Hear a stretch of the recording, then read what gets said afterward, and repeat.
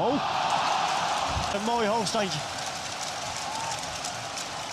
Niet de eerste IC die hier vanmiddag door de benen gespeeld.